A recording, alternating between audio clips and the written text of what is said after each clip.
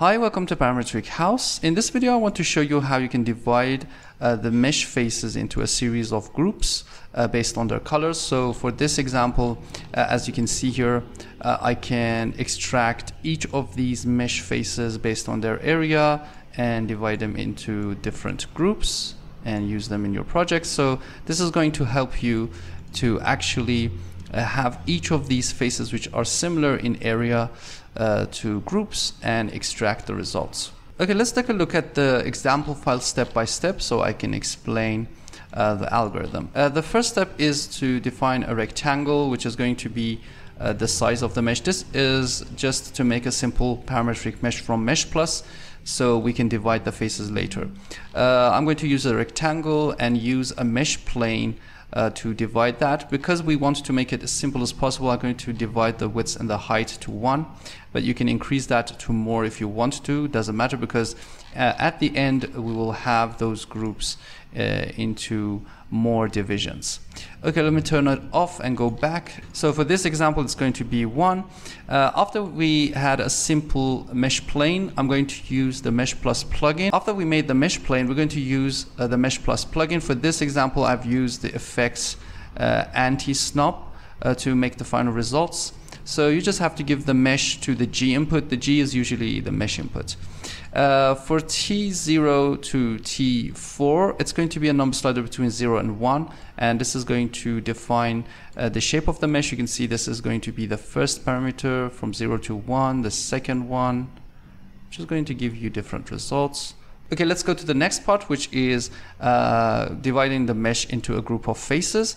So what I want to do here is, first of all, extract the face boundaries of the mesh. This is really easy. You just have to use the uh, mesh uh, face boundaries tool. And if I bake it, you can see that we have each of these mesh faces uh, as a border. The reason we are using this is if you combine it with a simple mesh utility, simple mesh, you can get each of these faces uh, separately it's somehow like a mesh explode. So you can always uh, get the face boundaries and make a simple mesh from it if you want to extract all the faces uh, as separate mesh faces. Uh, okay let's turn off uh, the mesh and now what we want to do is to divide them into group.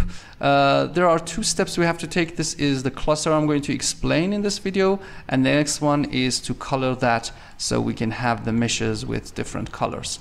Uh, the first step is to divide the mesh.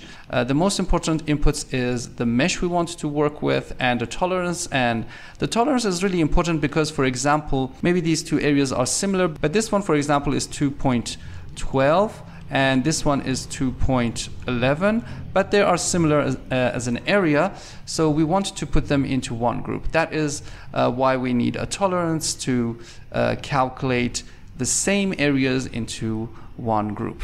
Okay okay now that we have the mesh uh, we're going to use the mesh area to uh, have the mesh area. As you can see here if I connect a panel uh, you can see that we have different mesh areas. Uh, for example, this one, 23, uh, is going to be also the same as this one. Uh, or for example, this one, 6.18, is going to also used for this 6.18. We have to put these meshes into one group and put these meshes into another group and so on.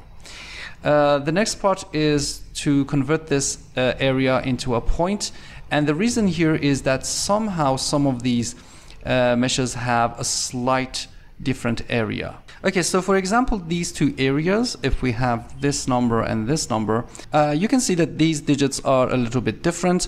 And if we don't uh, consider the tolerance, these two are going to go into two separate groups. So what I want to do is to make a point and use the cull duplicates with tolerance to fix that. Uh, after we have calculated the area, we're going to use a construct point to make a point with this uh, z being the area. And then I usually use the cull duplicates and put it to leave one and give it a tolerance. For this example, uh, a 0.1 is okay, but you can change that uh, based on your project. Okay, now when you fix that, it's going to give you another a series of points. The z of these points are going to be the group uh, we need. Uh, so we're going to deconstruct the point and extract the z, and now we have the groups. Uh, to make that into one group based on the tolerance, what I want to do is to find the difference of each of the areas of these mesh faces with these groups. Uh, you have to graft this. You find the subtraction from all of these areas with this z, and it's going to give you these numbers. Uh, because we have negative numbers, I'm going to find the absolute, and then I'm going to sort them from the smallest to biggest. And as you can see here, zero is going to be fine, but some of these mesh areas have a little bit of a difference. So this one, for example, has a small difference, and also,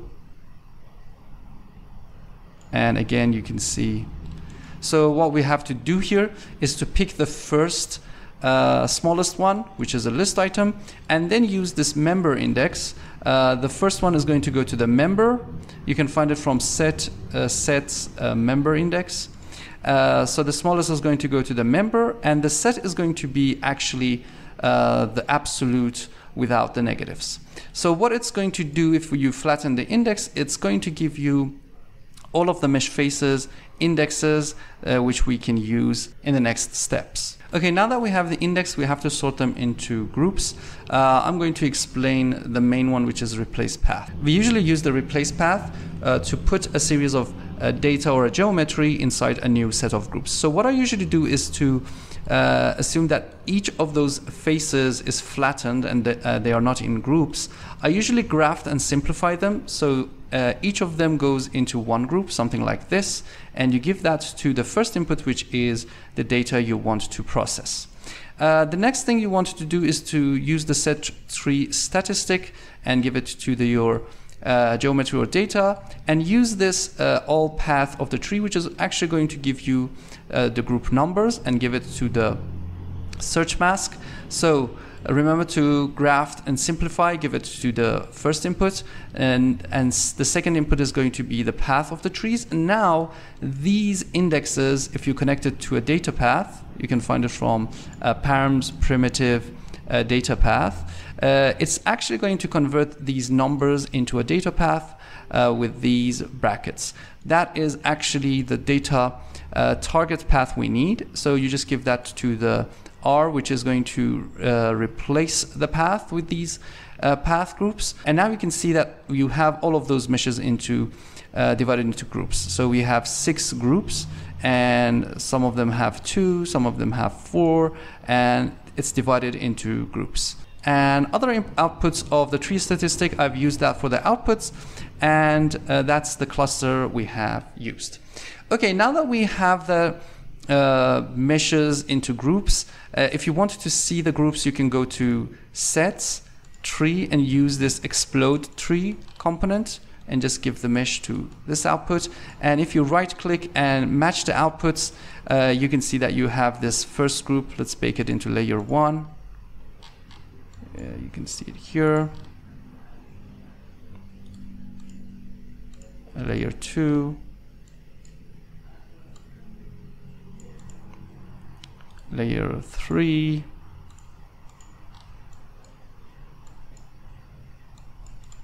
and so on. So you just have all of them inside a group. Because this uh, base mesh, I've changed it to a rectangle, uh, these two have been inside one group and these two have been inside another group. But if I make it uh, again into a square and just go here right click and say match outputs. It's going to delete the extra group. And again you can see that I can bake it. It's going to be those four uh, mesh faces in one group. So you can actually simply get the mesh output and use explode tree uh, to do that. But because I wanted to make an advanced example file, used the colors, mesh colors to give them different colors. Uh, to do that, what we have uh, made for the output is uh, the index group because we want to use that further in the example file. Uh, the group count, which is going to show us that we have five uh, groups of colors. And also the index of each of these faces. So if I connect a panel, uh, each of these faces have a unique group. So for example, the first mesh and the sixth mesh are in one group and so on. So we have used this member index index as an output. That's not really uh, complicated. What we want to do is to color them. And what you want to do is to give the base mesh which is grouped uh, for the first input.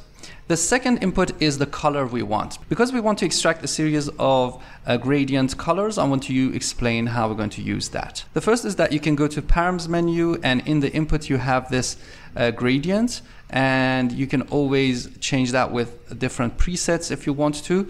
Uh, the most important input is the L0 and L1. So L0 is going to be here uh, and L1 is going to be here. So for example, if this input is 0, this color is going to be 0 and if this L1 is 1 this color is going to be 1 and uh, if you for example give a 0.5 it's going to extract this color. If you give it 0.25 it's going to extract this color. So that is uh, the, uh, the T inputs and we're going to use that in our project. So using gradient is really easy to extract the colors we want.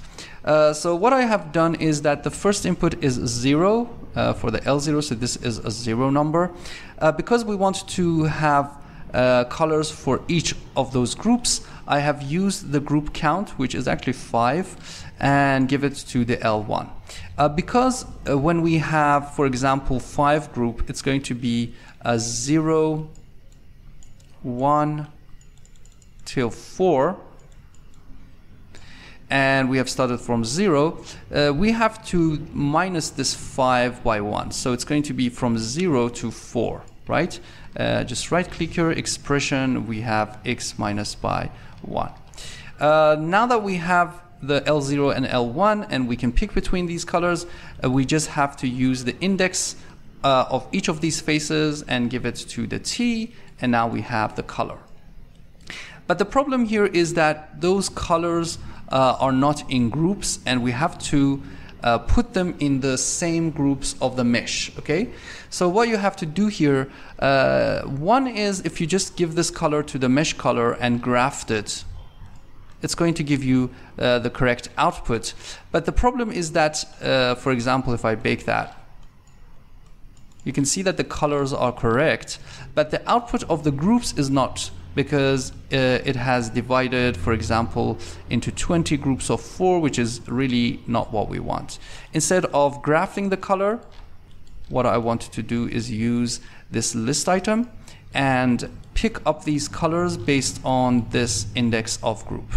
So you can always use this index of group if you want to pick up the colors, for example, and combine it with a list item and give it to a color. So you have the mesh colors finally into a set of groups and you can see that the output is completely correct because we need uh, five groups of four uh, which we can manage later.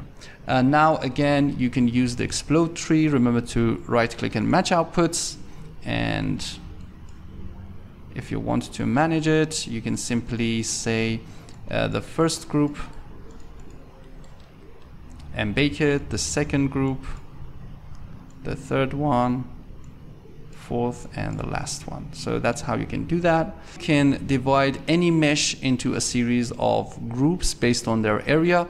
Uh, for example, if I go to the mesh primitive and use this mesh sphere EX and give it to this input, uh, it's also going to divide that mesh into uh, different groups based on their area. So for example, if you go to the um, base mesh plane and use, for example, a subdivision uh, for example, just used a pinwheel 2 and give the mesh to it.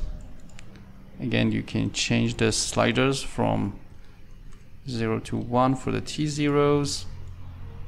And usually if it says uh, if true, something like this, you can use a toggle. So for example, I can use a toggle